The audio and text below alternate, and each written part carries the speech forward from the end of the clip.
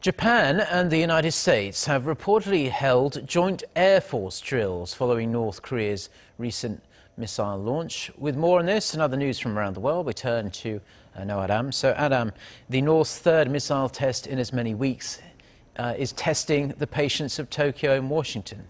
Yes, Mark, it certainly seems that way. Japan's Kyodo News reports that the two countries' air forces carried out joint drills near the Japanese island of Kyushu. It was said to have been conducted on the same day Pyongyang carried out its missile launch, which was on a Monday.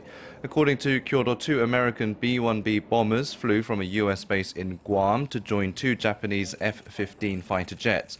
They are known to have carried out joint exercises, which included flights toward the Korean peninsula.